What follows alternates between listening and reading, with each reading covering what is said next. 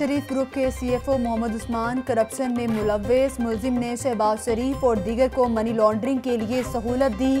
ملزم شہباز شریف، حمزہ اور سلمان شہباز کی ہدایت پر منی لانڈرنگ کا نیٹ ورک چلاتا تھا۔ نیب کی ملزم عثمان سے کی گئی تحقیقاتی رپورٹ لاہور نیوز کو موصول۔ فائنینشیل مانیٹرنگ یونٹ نے مشکوک ٹرانزیکشنز کے حوالے سے رپورٹ بھجوائی۔ شہباز شریف اور ان کے خاندان نے اپنی آمدن سے سات ارب سے زائد کے اثاثے بنائے۔ NAB report.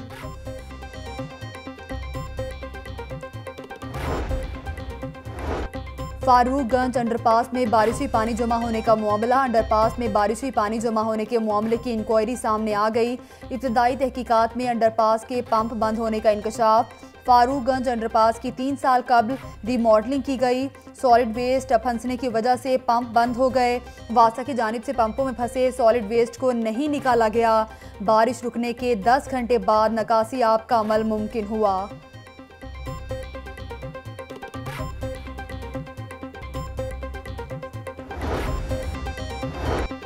ڈینگی کا سر اٹھاتا آفریت۔ ڈینگی مہم کو بھرپور طریقے سے چلانے کی تیاری مکمل۔ بارش کے موسم میں ڈینگی کے خلاف کارروائیاں جاری رکھیں۔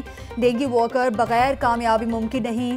ورکرز کو کوئی مسئلہ درپیش ہوا تو ذمہ داران کے خلاف سخت ایکشن لیا جائے گا۔ Secretary primary and secondary health care کی زیر صدارت ڈینگی اجلاس۔